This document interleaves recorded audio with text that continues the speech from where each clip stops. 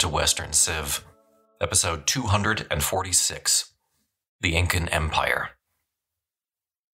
Last week, I introduced the people of the Andes and the Inca in terms of geography and mostly social history.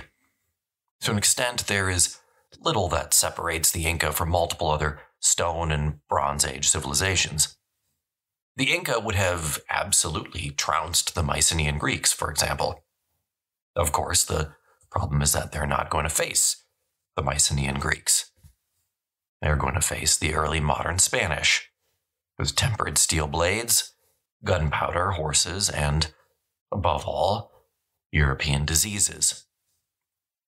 Today, I want to cover the Inca Empire in greater detail, focusing on its political structure and its military structure, since those will be crucial issues going into the clash of civilizations when Pizarro arrives in the early 16th century. Then, next week, we'll switch gears and talk a bit about Pizarro because he actually visits the edges of the Inca Empire and then goes home to Spain before returning to conquer it. And a lot happens in the interim, by the way. So, with all that introduction, let's get started.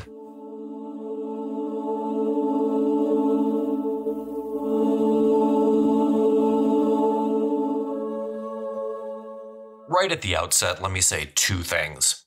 One, the Inca Empire was a short lived phenomenon. In reality, it lasts only about a century. Of course, we have no idea how long the empire would have lasted had the Europeans not reached the New World at the end of the 15th century. 2. It is very difficult, especially early on, for us to ascribe specific dates to events pertaining to the Inca Empire. There are a few reasons for this. First, largely thanks to the Spanish conquest, there is little indigenous writing that survives. Second, as I mentioned last time, the Inca were not above manipulating time for political purposes. So it's difficult to tell if something happened on a given date or if that event has been moved to suit political expediency. Third, the Andean peoples just didn't calculate time in the same way as the people from Europe. Time was much more cyclical. So, given all those caveats, here's what we can say. Around the end of the first millennium CE, the Inca were just one of several ethnic groups jockeying for political position in southern Peru. However, sometime around 1400 CE, the Inca emerged as the dominant political polity. It's nearly impossible for me to say anything for certain before the 15th century. Early Incan history, like most histories, frankly, is shrouded in myth and legend. According to these myths, the Inca were engaged in warfare from the word go with their neighbors in and around Cusco. Cusco itself was reportedly founded by Manco Capac, who is essentially the Aeneas of the Inca. The archaeological origins of this Inca society are almost as sketchy as the historical mythical record. Now, the problem here is that, in part, we can't recreate Cusco before the imperial period because Cusco was entirely rebuilt during the imperial period deliberately. The evidence that we do have suggests that early on, uh, the Inca shared quite a lot in common with a chiefdom based society. Gift giving, for example, was common, a way to establish social and political ties. There are a few allusions to the benefits associated with war and the capture of labor, but not much of any specific nature, at least not in any record that survives. The meteoric rise of the Incan Empire has a lot in common with several other notable empires in the past. Perhaps most importantly, the Inca got lucky in that they were blessed with four or even five excellent emperors in succession. We all know the story of the Antonine emperors in Rome. Of Trajan, Hadrian, Marcus Aurelius, and Antoninus Pius led the empire to its greatest heights. We also know what happened when they were gone. The same goes for, you know, the Carolingian Empire or the Persian Empire of the classical Achaemenid era. In an age of absolute personal rule, it really helps to have a good ruler. About 50 accounts of the Incan Empire were written in the decades after said empire's collapse, giving us the bulk of our historical information about the imperial period. That being said, distilling exactly how the Inca won their empire might still be impossible even today, for all the reasons I specified at the beginning of the show. The reign of Huaca Inca, the eighth ruler on the standard list of Inca rulers, usually marks a narrative transition from raiding and alliance to straight up territorial expansion. Huaca, we know, first used a key marriage alliance with the people to the west of Cusco to cement his power and kickstart his expansionist policies. But what really seems to have started things was defense. The Chanca, another ethnic group in the same region, attacked Cusco in the early 15th century. But the Inca repulsed their advances, and this seems to have propelled them into their imperial phase. After all, offense is usually the best defense. Now, that being said, and again, I hate to constantly muddy the waters here, but I do want to point out that not every scholar believes that there ever was an attack from the Chanca. This might be Inca propaganda intended to mask what was really just naked aggression. Most scholars today agree that Chanca existed and were a crucial enemy. These wars, however, seems like most agree, are probably vastly exaggerated in order to pump up the image, I suppose, of the empire's founder. The earliest target for Inca expansion was the rich and fertile land around Lake Titicaca. This is, if you look on a map, about 150 miles southeast of Cusco. These early Incan campaigns were successful. However, they had the result of bringing the Inca into contact with dangerous and hitherto unknown foes. And so it's hard to tell when, but at some point, further expansion south, at least in the early 15th century, seemed unlikely as they'd run into too many opponents. So simultaneously, the Inca were pressing north into today what we would call Ecuador. The evidence today suggests that these conquests took about 50 years in some places, and in other places, the border regions, they were never completely successful. Even in 1532, many of the areas on this outside of the various valleys were not under Inca control. One of the most important early Inca campaigns was along the coast, from Nazca, home of the famous Nazca lines, to Mala, which is about 80 to 100 miles north. This campaign reportedly took a year. Here, the Inca met a variety of determined opponents who, evidently, put aside their differences briefly and allied against them, fielding an army of 30,000 strong, though this is really the only time that any of these people would put aside their differences. In fact, the final Inca victory was a result of a trick and not glory in battle. The Inca used a feigned retreat to get their enemies to come out of their secure locations.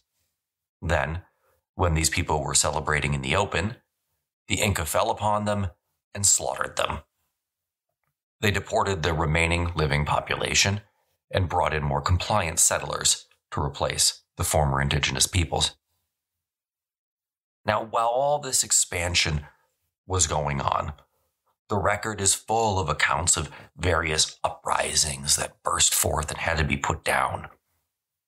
The Incan Empire was, after all, based on the threat of military force. Much like the Assyrian Empire, revolts had to be brutally suppressed, and they were. But as I'll discuss more in a moment, this was not easy, given that the Inca never had a standing army so every time there was a campaign, a major mobilization effort was required. The late 15th century was dominated by King Huayna Capac. By the time he came to the throne, the major Incan expansions were over. He divided his time between military concerns, mostly to consolidate his power, and administrative duties. Huayna Capac forces campaigned in Ecuador for over 20 years with mixed results. The Inca were now faced with sort of the same problem that confronts basically every empire that doesn't incorporate conquered peoples into its system. They simply don't have a large enough population to keep expanding. Even Sparta, for example, as militarized as it was, never expanded beyond the Peloponnese. Its population simply didn't allow it. And the Inca now find themselves faced with the same problem. Of course, because of the training that the army of the Inca goes through, if the enemy was willing to meet the Inca army on an open battlefield, it stood an excellent chance of success. Likewise, if the enemy pulled back to one stronghold the Inca could lay siege to, well, the Incas were about unbeatable. But in the jungles of Ecuador, for example, where the enemy could hide and then launch devastating sneak attacks, well, the Inca army wilted, as I suppose just about all classical armies would. Huayna Capac was actually campaigning in the north when word reached him of an epidemic, killing thousands. The epidemic was bearing down on the borders of his empire, even as he discussed the situation with his captains. As I will discuss more in a later episode, the epidemic was smallpox. It started when Narvaez brought the disease from Cuba in his effort to oust Cortez from his position in Mexico. Since then, it had raged through Central America, and now it headed south. Huayna Capac tried to flee, but in early 1528 he too was struck down. His death would initiate the dynastic struggle which would plague the Inca, pun intended, right up to the arrival of Cortez. We will come back to it in detail in about two weeks. For the balance of the episode, I want to look at the Inca political system and its military. Since the days of the Spanish conquest, the Inca government was usually portrayed as a finely tuned machine. Whether they admired or hated Inca rule, the authors usually agreed that Cusco's crowning success was its orderly administration.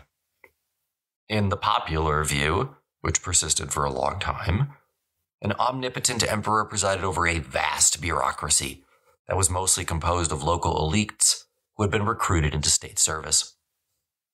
By applying the same policies everywhere, the Incas soon molded a cultural patchwork into a homogenous society. Virtually everything the peasants did from birth to death was supervised by state officials who called on taxpayer labor to meet state economic and military needs the officials who spoke Cusco Quechua in public affairs, and the people who adopted some Inca customs into their daily lives.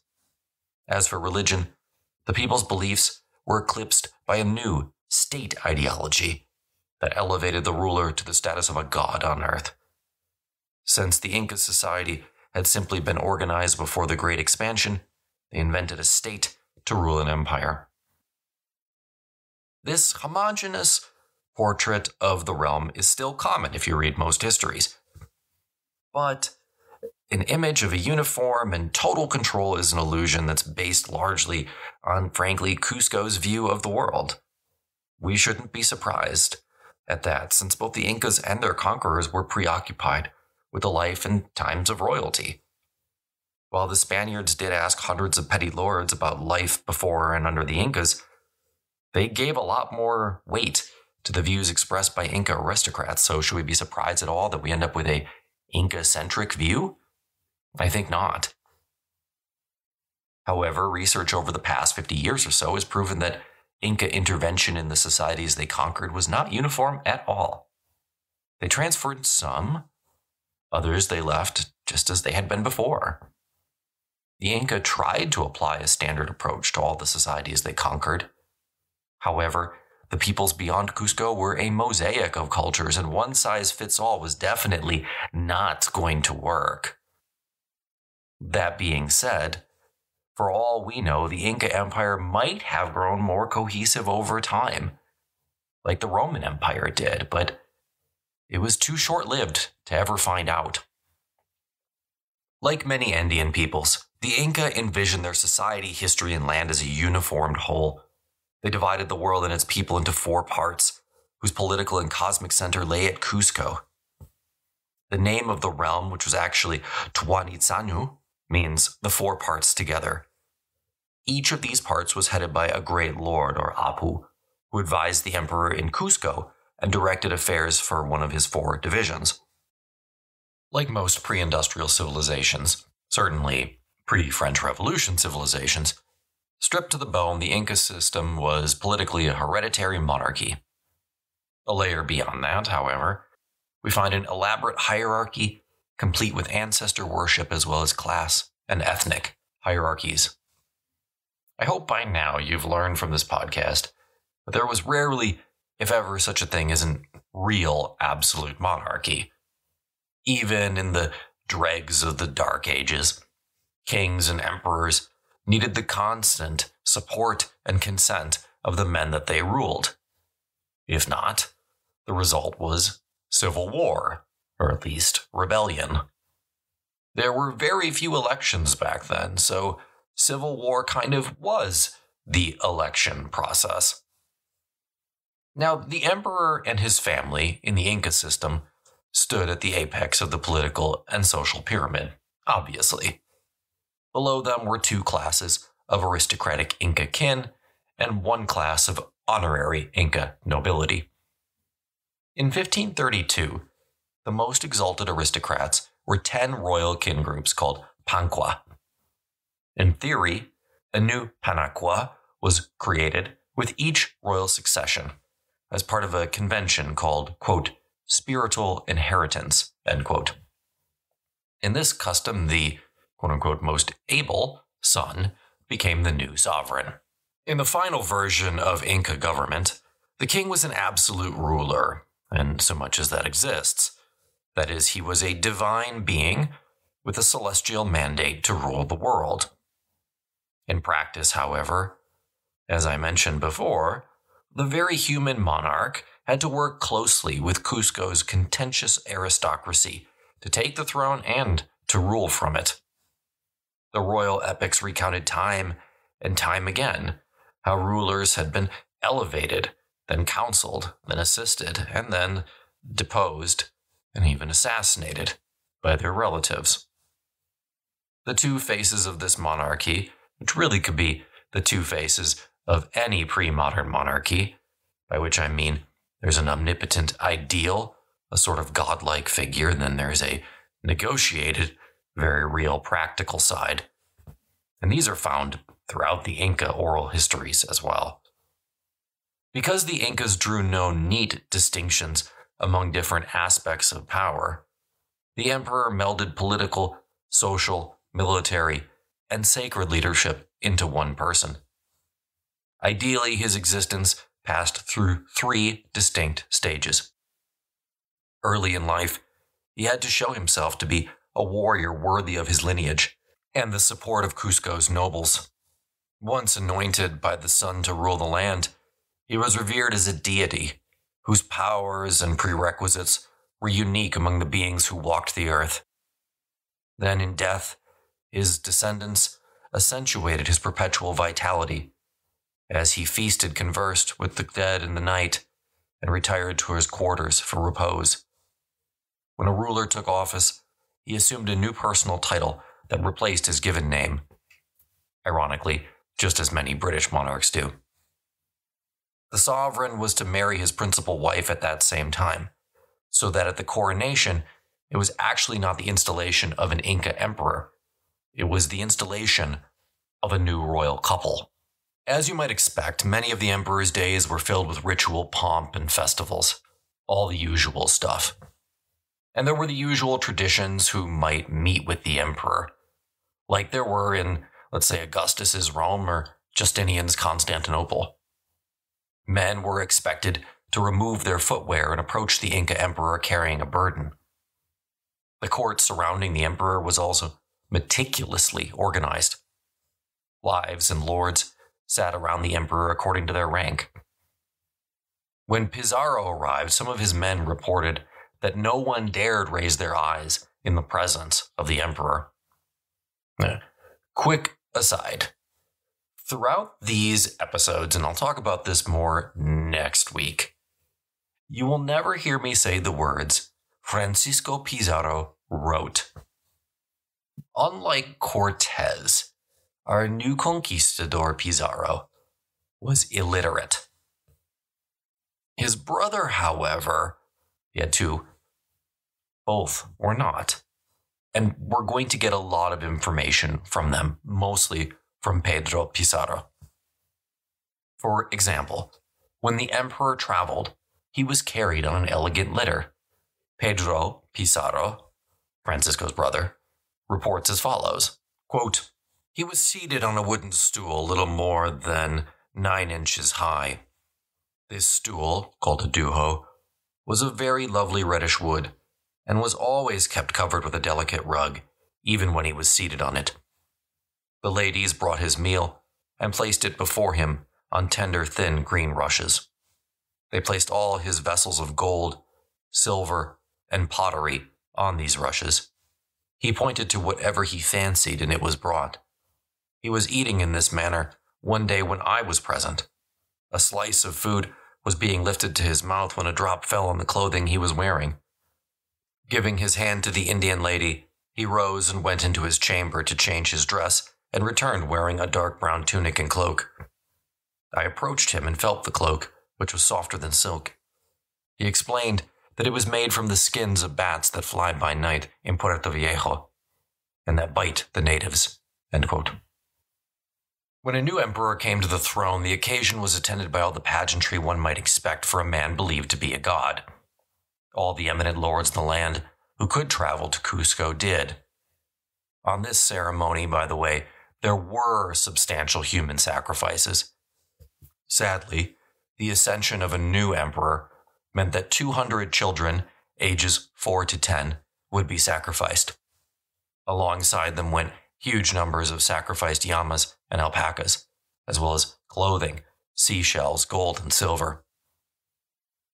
After an emperor died, he was mummified, and his mummified remains remained in Cusco. Again, referencing Pedro Pizarro, he recalled, quote, Most of the people of Cusco serve the dead. I've heard it said who they daily brought out to the main square, setting them down in a ring, each one according to his age, and there the male and female attendants ate and drank. The attendants made fires for each of the dead in front of them with firewood that was worked and cut until it was quite even, very dry, and lighting them burned everything they had before them, so that the dead should eat of everything that the living ate, which is what was burned in these fires. The attendants also placed before these dead certain large pitchers of gold or silver or clay, each as he wished. And here they poured out the chicha that they gave the mummies to drink, showing it to him. And the mummies toasted each other and the living, and the living toasted the dead. When the vessels were full, they emptied them over a circular stone they had for an idol in the middle of the plaza, around which there was a small channel, and the beer drained off through the underground pipes. A different Spaniard, who saw the mummies, was astonished. Quote, Their bodies were so perfect that they lacked neither hair, nor eyebrows, nor eyelashes. They were in clothes such as they had worn when alive, with llantas on their heads, but no other sign of royalty. They were seated in the way Indian men and women usually sit, with their arms crossed over their chests, the right over the left, and their eyes cast down. I remember touching a finger of the hand of Huayna Capac. It was hard and rigid, like that of a wooden statue. The bodies weighed so little that any Indian could carry them from house to house in his arms or on his shoulders. They carried them, wrapped in white sheets, through the streets and squares, the Indians falling to their knees and making reverences with groans and tears, and many Spaniards taking off their cap. Below the emperor was the Wilac Umu, or high priest. He was the second most powerful person in the empire. Beyond his religious duties, he was often the emperor's field marshal in times of war. Below him were the different families of the emperor. There was significant intermarriage, of course, between different aristocratic factions. These factions also played a major role in determining the next emperor, so we can guess that there was a fair amount of jockeying for position within the court, like there is in just about any court. Rank, though, was judged in this case by blood proximity to the emperor and never on age. Women, especially the sovereign's principal wife, he could have had several, were powerful figures in the royal line. According to our sources, like the Achaemenid Persians, the Inca married sisters or first cousins in order to keep the line pure. We have no evidence that this resulted in any inbreeding issues, probably because the Incan Empire did not exist long enough for those problems to crop up. This also seems to have been a change in practice that happened sometime during the imperial period. Another change was the designation of a, quote, primary wife, end quote. Only her offspring would be considered potential heirs to the throne. This just sort of makes sense. You don't want scores of offspring competing for one spot, or you run into the kind of dynastic issues that are going to help to undermine the Ottoman Empire. The Inca's political system undoubtedly evolved over time, but their history's flexibility makes it really hard to pin down the timing and the nature of these changes. Still, the Chronicles are our best source for insight as to how the practices of power help shape the government structure. These suggest that the royal successions and marriages were pivotal moments for conflict and maneuver, although certain rulers also tried ideological reformations that would have enhanced their positions. Some years ago, different historians drew attention to the bloody infighting inherent in royal successions and observed because the situation arose as a result of Andean rules of succession, typically favoring vigorous actors. Again, really kind of similar to the Ottomans. Often, a lord passed his station to the son who showed himself to be the most able, regardless of birth position. But it wasn't uncommon for a number of able brothers to hold a office successively. Among the Incas, factional competition meant that successful aspirants won the throne through political intrigue, coup, murder, and sometimes even civil war. Cusco was the heart of the Incan Empire. It would not have awed visitors in the way Tenochtitlan did. Cusco was the sacred center of the empire and its administrative hub, but it would be wrong to talk about it as a great city in the way we can talk about the capital of Old Mexico. It was a city of thatched roofs and temples, the core of which covered about 100 acres. To put that into perspective for you, by comparison, today New York City is 193,000 acres. So Cusco was about 0.05% as large as New York City is today. Not a fair comparison by any means, but one that was just intended to give you a sense. The town and its suburbs were larger, encompassing terraced fields and intricate networks of canals and baths. It's hard to imagine Imperial Cusco today because the Spaniards began altering it basically as soon as they took possession of the city in 1533. One thing that anyone who has been to Cusco notices is the mountains. Cusco is one of the highest cities in the world. The city lies at an elevation of 11,300 feet. But still, despite this, it's productive. There are numerous streams and the surrounding valleys are well suited to growing a variety of highland crops. Despite the fact that maybe it wouldn't have compared to Tenochtitlan in size or splendor, Certainly, Cusco was the greatest city in all of South America in the 16th century. Its elegance even impressed the Spaniards. Pizarro's personal secretary wrote, quote, The city would have 4,000 residential homes between the two rivers surrounding it, and they are on the slope of a mountain. And at the head of the city in the same mountain there is a fort with many rooms. The population of the urban central sector was only about 15 to 20,000 people, with an additional 50,000 in the surrounding districts. If you were to go out, say, five miles in all directions, then you could get a total for the Inca capital of maybe 100 to 150,000 people.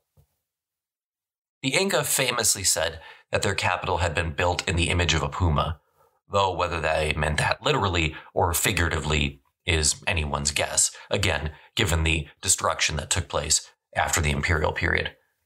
The streets were laid out in a rough grid, but all were very narrow. This, after all, was a society that did not use the wheel for transportation.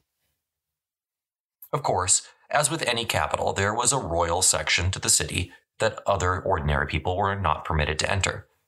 There were many temples and shrines throughout the city, but the largest and most important was Coricancha, or the Golden Enclosure. Today, it's most commonly referred to as the Temple of the Sun.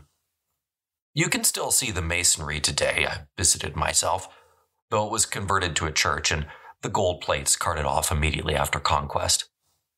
It was the empire's most important shrine. And as I mentioned last time, all other local temples beyond the Temple of the Sun were situated along lines which emanated out from the central point.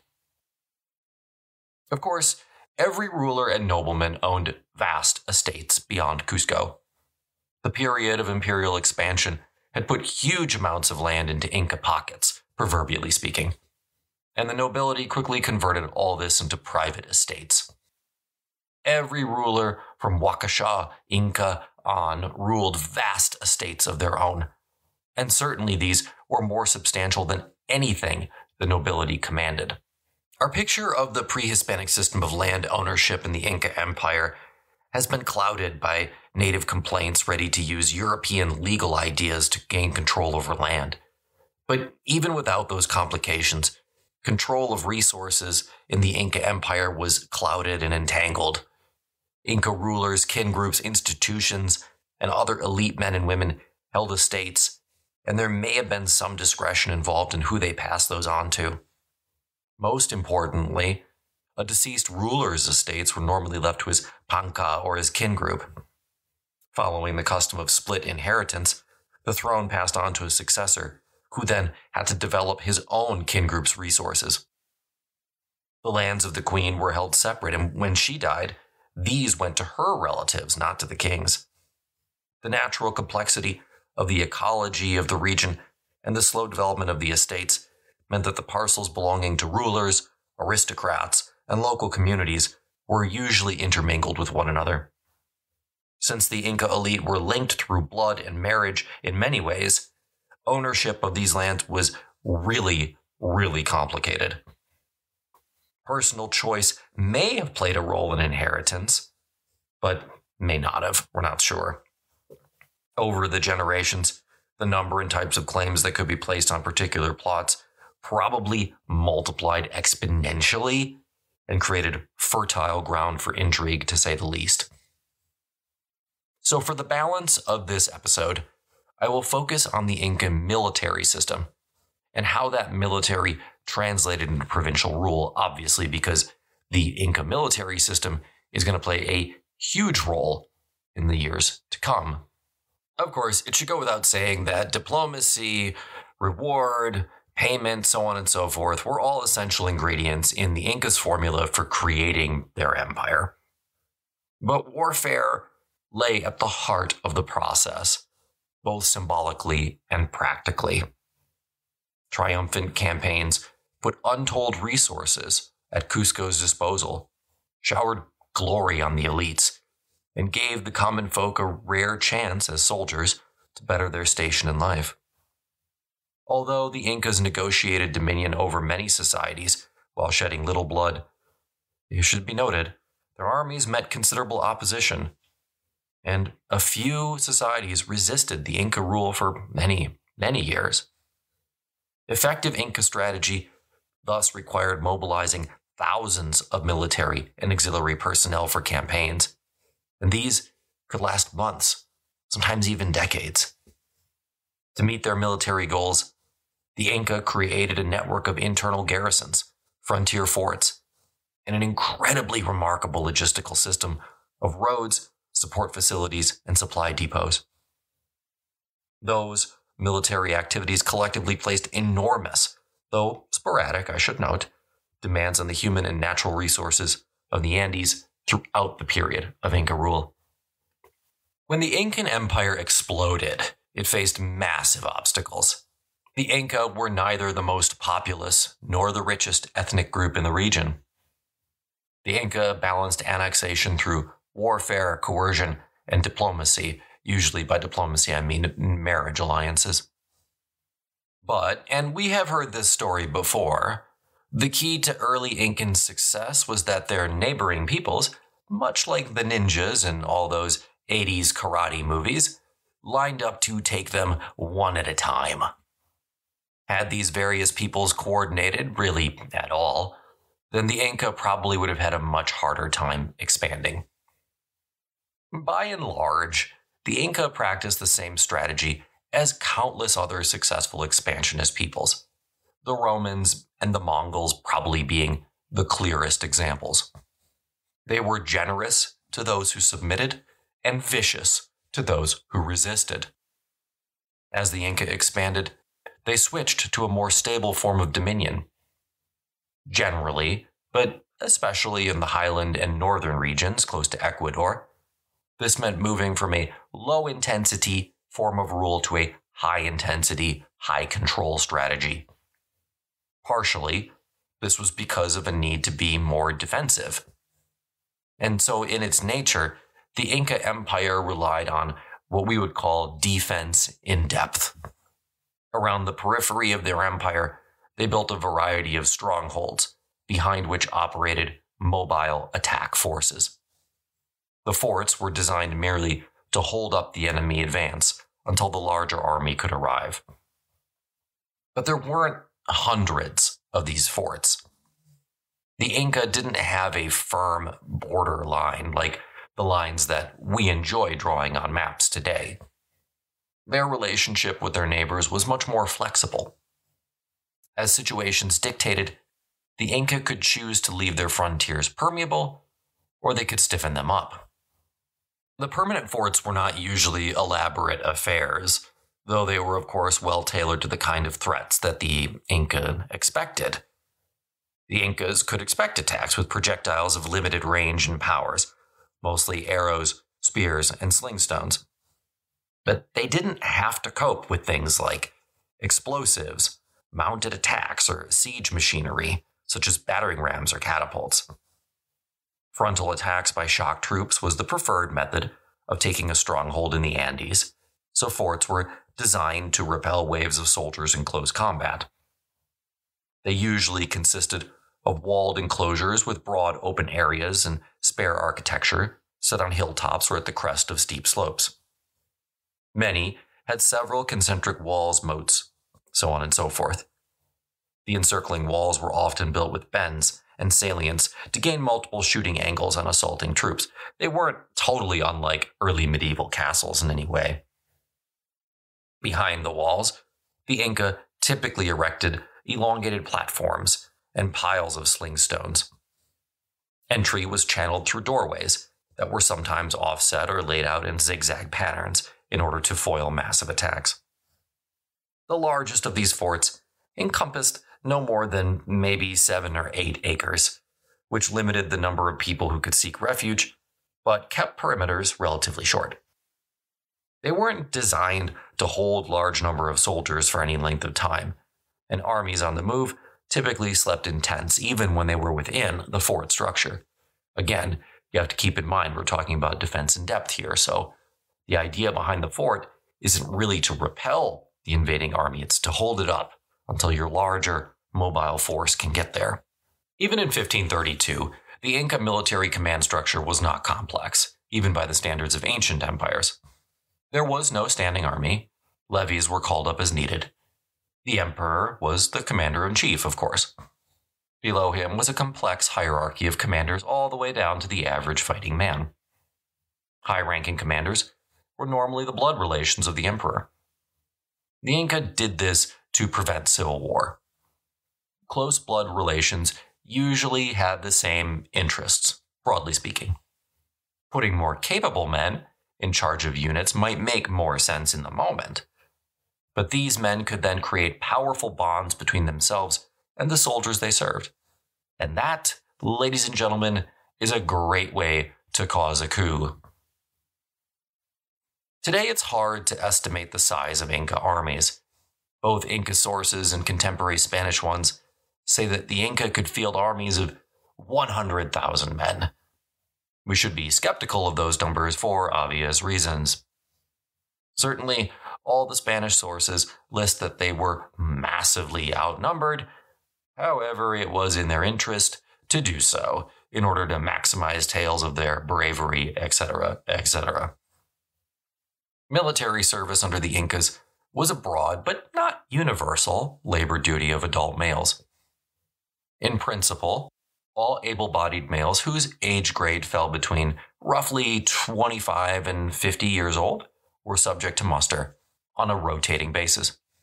The elite corps of the army was formed by the orejones, which translates into big ears. This was a few thousand men who had been trained from youth to know war and nothing else. They were sort of the equivalent of the Spartan equals.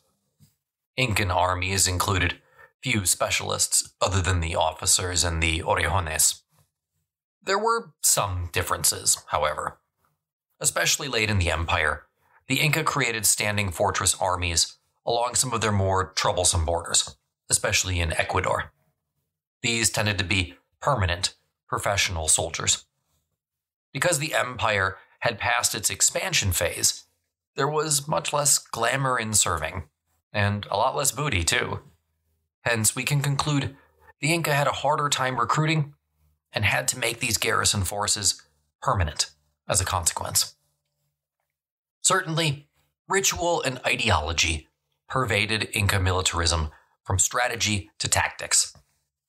What we cannot say, however, is how large of a role the ideology played in the Inca's expansion.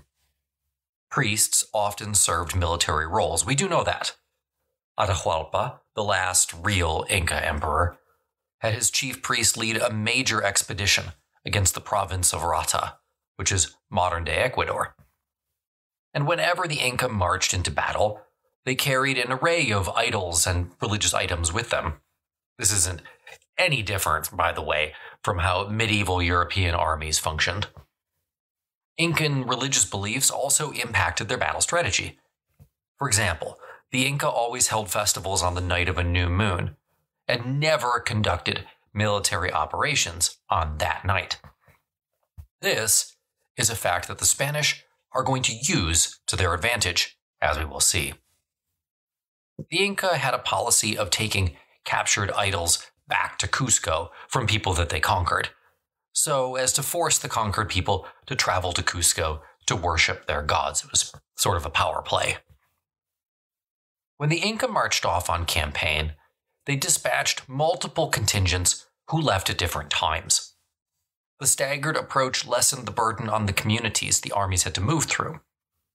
Any force would have been large, however, as it would have included a substantial entourage of porters, wives, servants, and other personnel. The Inca were always careful as they moved their armies. A lead force preceded the main body by about two or three days' march. The rear guard followed it by two days. In all, troops would be spread out over more than 40 miles. And they had to spread out. The Inca road system was excellent, but even the provincial centers were not equipped to shelter thousands of soldiers at one time. Discipline among the troops was kind of mixed. While on the road, the soldiers were said to be forbidden to stray from the road or to take any goods from the countryside on pain of death. And the Spaniards actually witnessed different capital punishment for disciplinary infractions. 30 to 40 of Atahualpa's guard were executed when they broke ranks in the face of a display of horsemanship. Regardless of the order exhibited on the march and in the camp, however, discipline broke quickly on the battlefield, and looting was the order of the day following any victories. Few aspects of the Inca Empire impressed the conquistadors more than its supply and transport system. Besides the road network, the most renowned aspect of the Inca supply system was the array of storehouses, which stockpiled an enormous variety of food, arms, clothing, and other items throughout the empire. Each soldier was supposed to receive a set of clothing and sandals annually, and some weapons were also provided. They were also issued blankets, corn, peppers, and cocoa leaf, the difficulties of transport in the rugged Andean terrain required that the storage facilities be replicated regionally. The massive scale of the system is best exemplified by the hundreds or even thousands of storehouses at each major center, from Cusco all the way down to the south to Tupunana. Each small way station was located about 15 miles or so along the roads which also stored goods for state travelers, not just military purposes. The Incas relied on llama caravans and human porters for transportation. The state owned hundreds, if not thousands, of llamas, and on occasion, individual pack trains could include tens of thousands of animals. Although these camelids are supremely well adapted to the rakers of the mountains, there are some limitations to their abilities. For example, llama caravans could cover only about 18, maybe even only 15 miles per day, which is actually the reason that that's the distance between the storehouses. Typically, two loads of uh, about 20 pounds each would be rotated among three adult males, but they still break down constantly. And as anybody who's ever seen a llama in real life knows, when they don't want to go, they don't want to go. And when they get tired, the llama just sort of stops right where it is, and there's nothing you can do about it. As a consequence, humans probably carried the majority of portage on their backs. In reality, they were more reliable and could carry heavier loads. Of course, they had to be fed from local supplies or carry their own.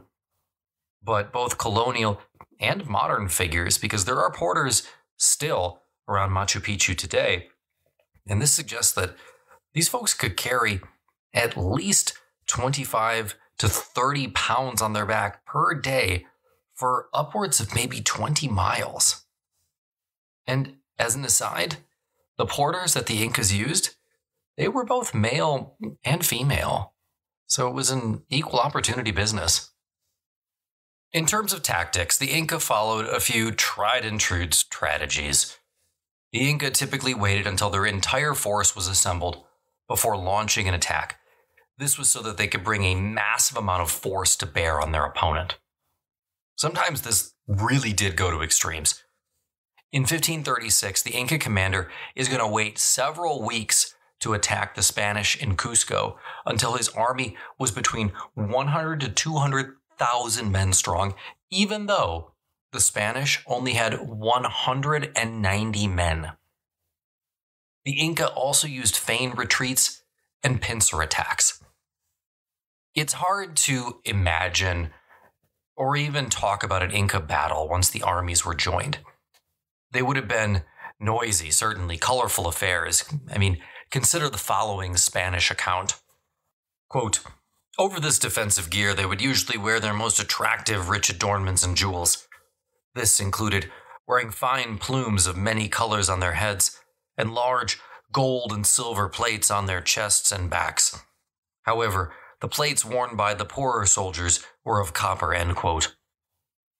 The Inca, like most pre modern societies, lined up for battle according to their kin group. Each group, like the Achaemenid Persian armies, for example, had their own sort of special weapons. The bow and arrow, as an example, were totally unknown to the Inca, and only used by their levies from the jungle regions. If the Inca army had a weakness, and this is going to be very important for our story, it was in its command structure. Commanders always led their men into battle, but the chain of command itself never seemed to extend past the lead commanders. So when they fell, no one knew who was in charge. And the attack inevitably faltered and then inevitably turned into a rout the other way. This is true even in circumstances, by the way, in which the Inca are going to enjoy massive numerical advantages.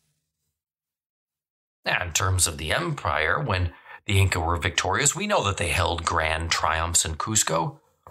In fact, we know this because Atahualpa was on his way to one when he ran into Pizarro.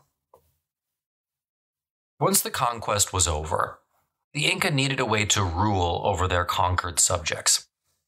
In the provinces, the Inca officials were outnumbered probably 100 or more to 1. So the Inca adopted a mixed strategy. The central portions of the empire, closer to Cusco, they ruled those directly. The coast, north, and south, the more distant regions, those they ruled through local elites. Another favored tactic of the Inca was resettlement.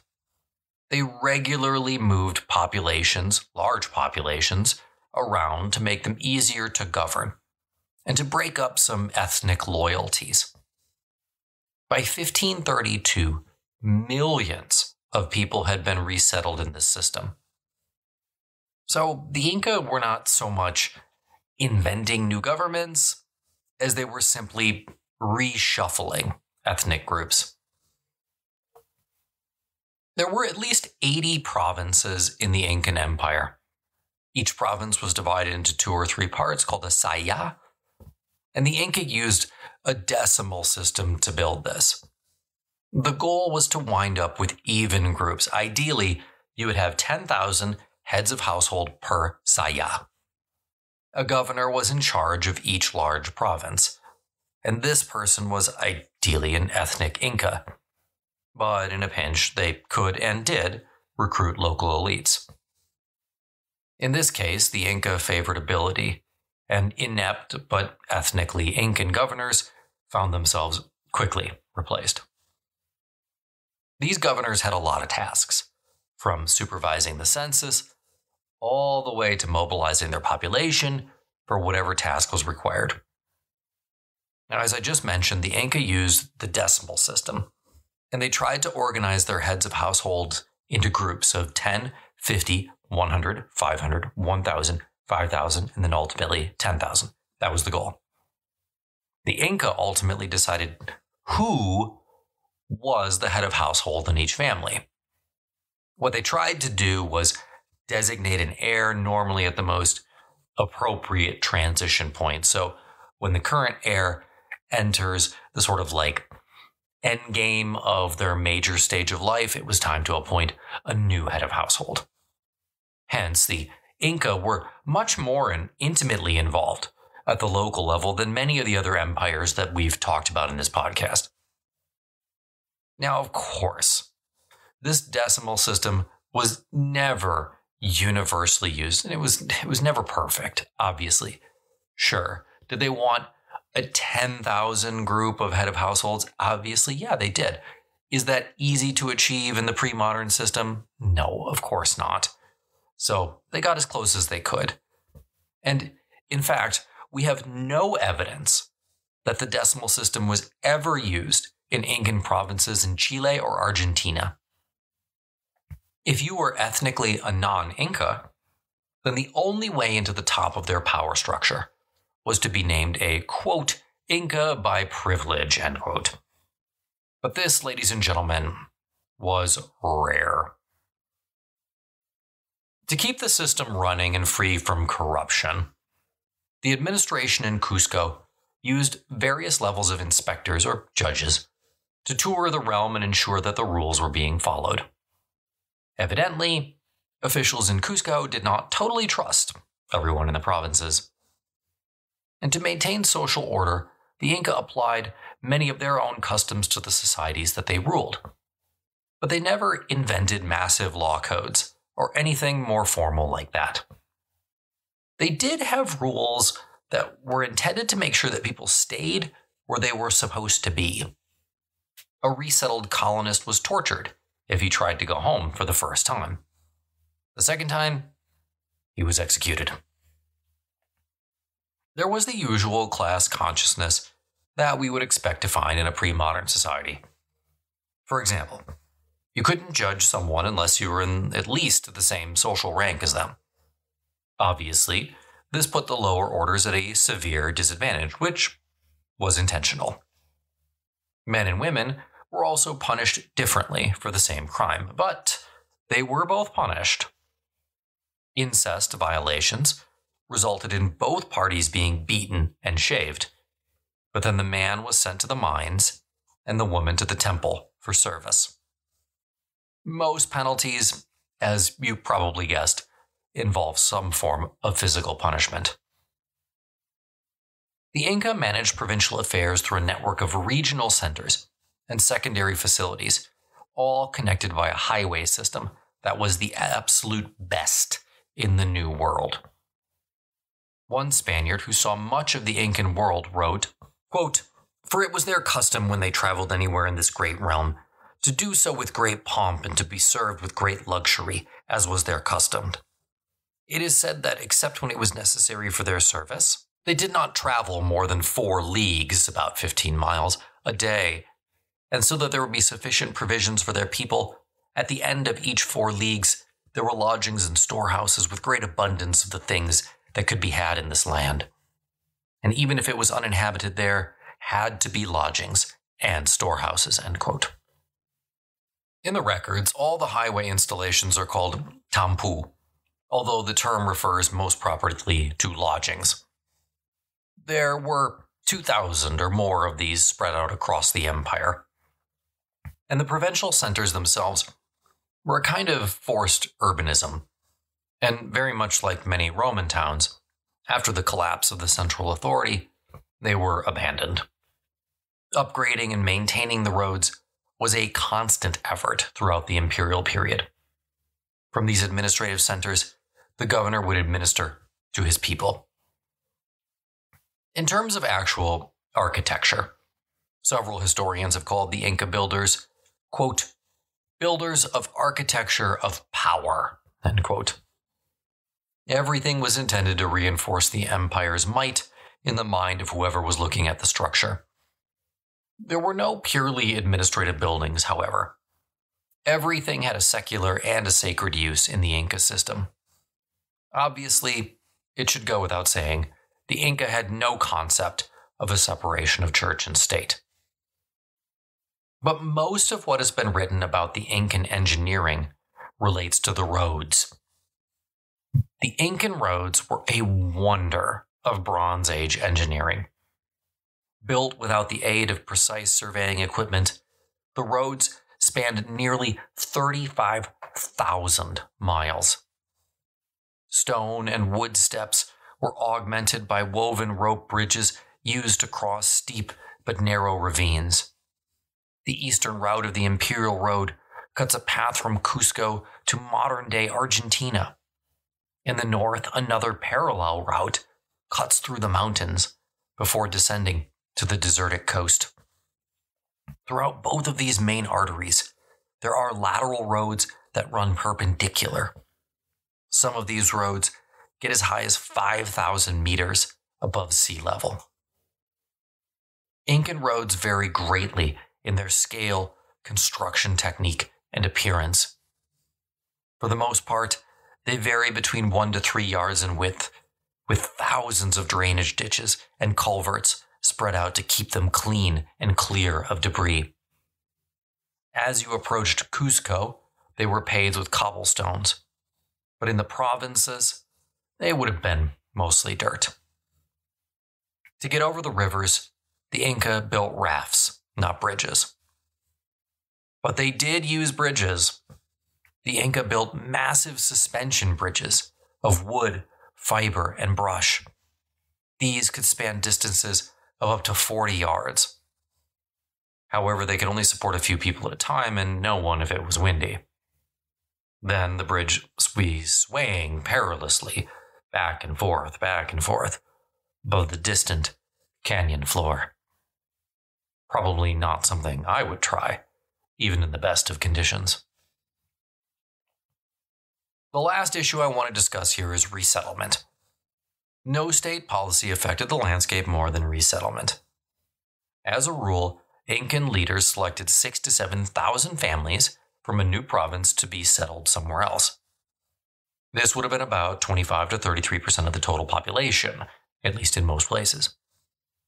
Sometimes, the Inca tried to move people to new locations that were ecologically similar, but not always. The reason the Inca did this was security. They wanted to lower the probability of rebellion. And so far as we can tell, it worked. New colonists were generally supported by the state for one to two years.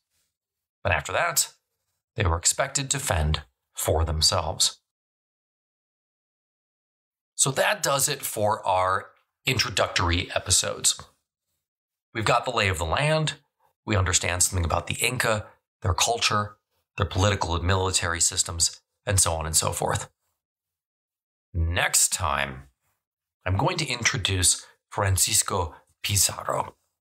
Because as I mentioned a few episodes ago, he actually visits the Inca Empire on two occasions. He doesn't get to conquering until the second time around.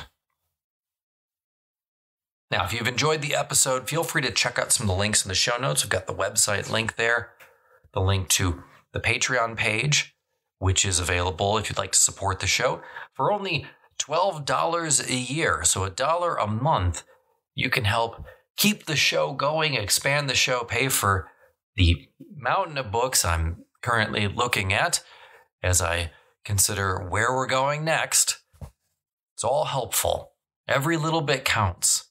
Only $1 a month can make a huge difference to the amount of shows that we're able to produce over here. So if you want to check that out, and also check out Western Civ 2.0. Um, you know, I've had having a great time going back through and now recording episodes on Alexander the Great all over again.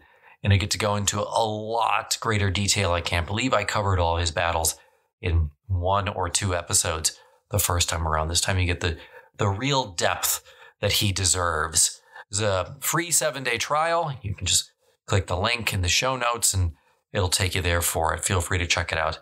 But next week, we continue on with Pizarro.